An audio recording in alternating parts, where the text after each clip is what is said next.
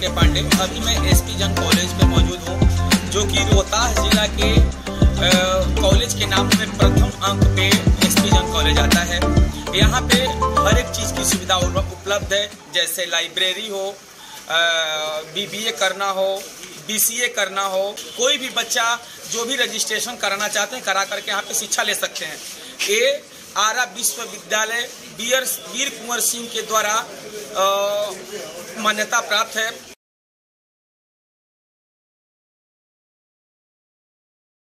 नमस्कार मैं आई आवाज़ से टीके पांडे। अभी मैं बिहार राज्य के रोहतास जिला में एसपी जन कॉलेज में मौजूद हूँ। आइए यहाँ के प्रधानाचार्य महोदय से मैं बात करता हूँ। सबसे पहले तो नमस्कार सर हमारी चैनल में सर आपकी स्वागत है। आ, सर पहले मैं आपका नाम जानना चाहूँगा। धन्यवाद मेरा नाम डॉक्टर गुरुचरण सिंह है। सर आ, ये जन कॉलेज काफ़ी संख्या में भारी भरकम है। पूरे यहाँ पे देखने पे हरा भरा पूरा माहौल लग रहा है। यहाँ पे छात्रों को भी संख्या बहुत ज़्यादा है। तो सर, मैं जानना चाहूँगा कि इसकी राज क्या है सर? यह महाविद्यालय तब खोला गया था जब 100 किलोमीटर के आसपास कोई भी कॉलेज नहीं था।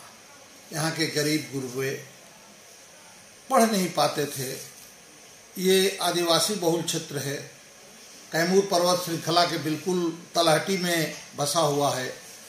तो उस समय के बुद्धिजीवियों ने इस महाविद्यालय की स्थापना इस उद्देश्य से की थी कि जो बड़े बड़े लोगों के लड़के थे, वे तो काशी हिंदू यूनिवर्सिटी, पटना यूनिवर्सिटी या अन्य जगहों पर जाकर उस शिक्षा प्राप्त कर लेते थे। लेकिन जो गरीब थे अति पिछड़े थे, सुदूर देहातों में रहते थे, वे शिक्षण संस्थान के अभाव में पढ़ नहीं पाते थे। इसी उद्देश्य को लेकर यहाँ के बुद्धिजीवियों ने 1948 में इस महाविद्यालय की स्थापना की थी। 1950 में इस महाविद्यालय को पटना यूनिवर्सिटी द्वारा संबद्धता प्राप्त हुई।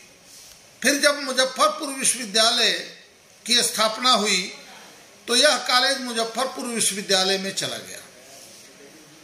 उन्नीस सौ बासठ में जब मगध विश्वविद्यालय बोध गया की स्थापना हुई तो यह महाविद्यालय मुजफ्फरपुर से बोध गया में आ गया। और उन्नीस में जब वीर कुंवर सिंह विश्वविद्यालय की स्थापना हुई तो यह महाविद्यालय वीर कुंवर सिंह विश्वविद्यालय की अंगीभूत इकाई के रूप में कार्य कर रहा है।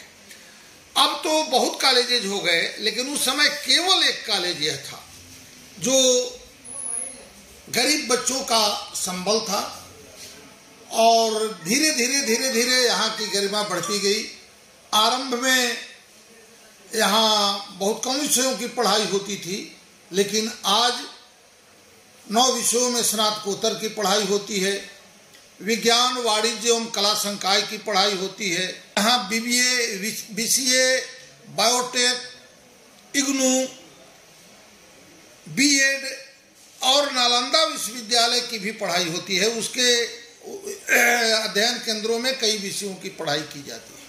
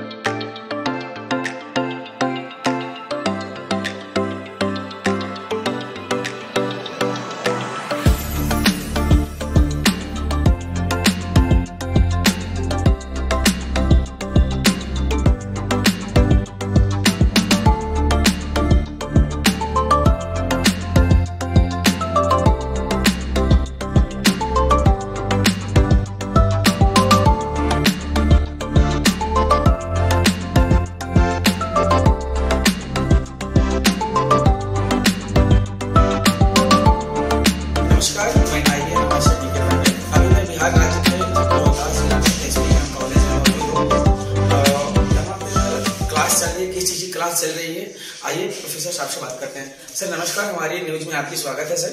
आ, सर इस कॉलेज का नाम क्या है सर और किस चीज़ की क्लास चल रही है सर? धन्यवाद। फ़र्स्ट ऑफ़ ऑल आपको इस कॉलेज में आने के लिए ये बीसीए डिपार्टमेंट है हमारा। आप S P Jain college Sasaram में है। और यहाँ पर बीसीए डिपार्टमेंट फ़र्स्ट सेमेस्टर के बच्चे हैं। यहाँ पर इनका क्लासेस चल रहा है कंप्यूटर का जिसमें इनके कई सब्जेक्ट्स हैं जैसे प्रोग्रामिंग से रिलेटेड सारी चीज़ें। पूरा कंप्यूटर बेसिंग है इनका। और इसके साथ साथ हमारे यहाँ बी सी अन्य डिपार्टमेंट जिसमें बी सी डिपार्टमेंट है।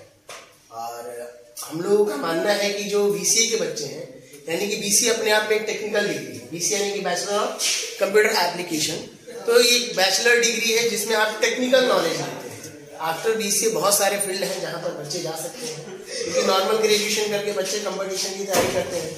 और एक लंबा स्ट्रगल के बाद बच्चों को कहीं ना कहीं कुछ मिलता है। और गवर्नमेंट जॉब बहुत कम है। तो एक सेल्फ सेटिस्फेक्शन की वजह से ताकि बच्चे सेल्फ डिपेंडेंट हो और अपना कुछ खुद का करें या डेवलपमेंट करें।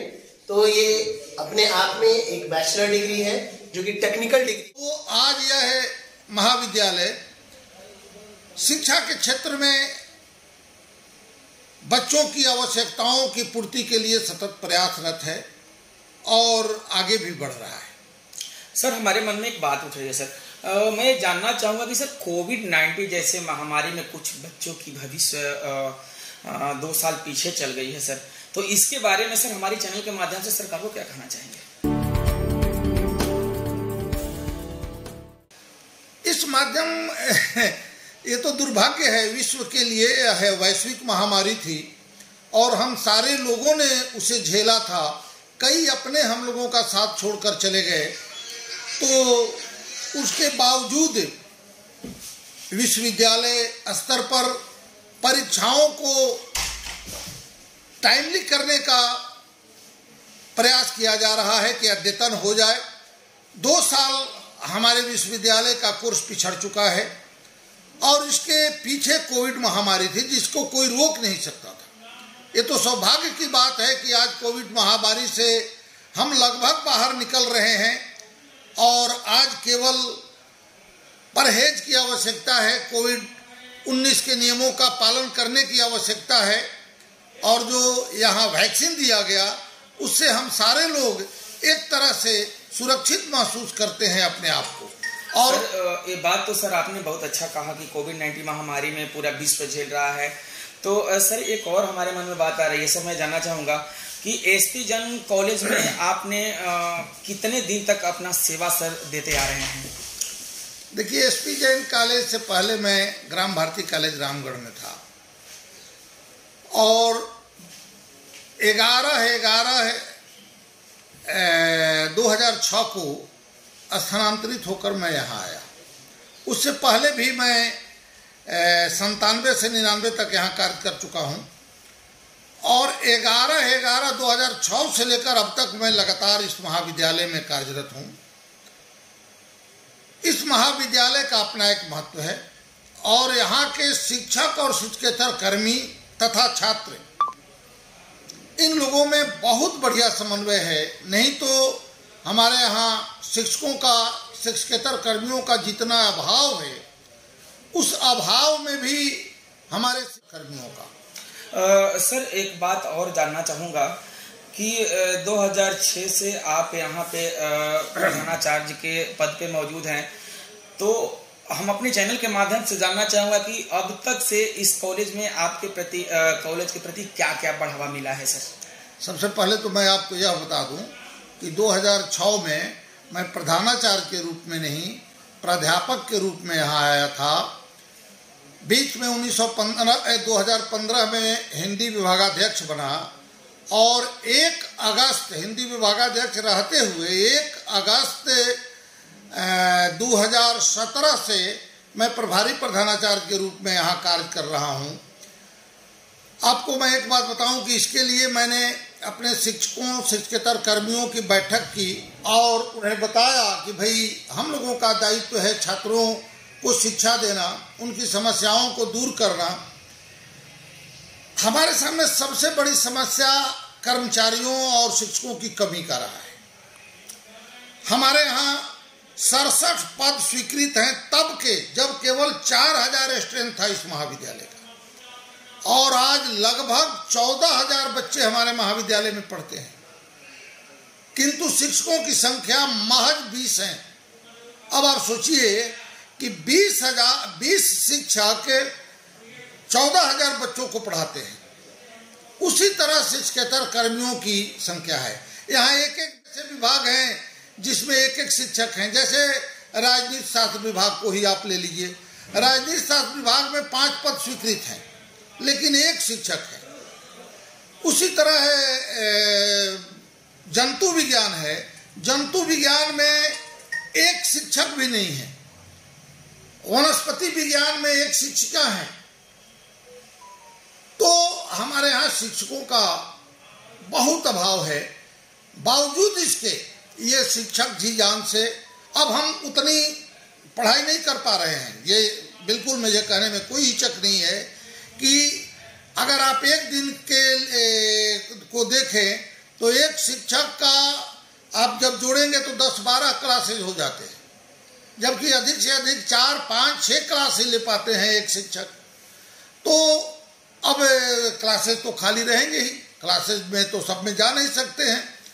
ये सारी समस्याएँ हैं। फिर भी हम कोशिश करते हैं कि हमारा सत्र पटरी पर लौट आवे, अद्यतन हो जाए और कोर्स भी पूरा हो जाए। ये कोशिश करते हैं। और हमारे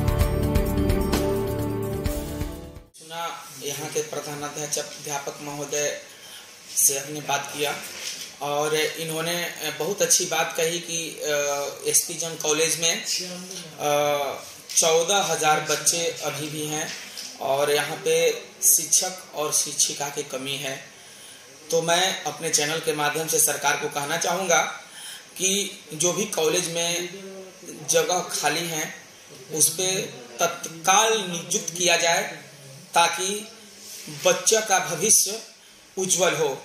और आइए मैं अपने चैनल के माध्यम से और इनसे विदा लेना चाहूँगा कि अभी तक कितने दिन तक कार्यरत रहेंगे।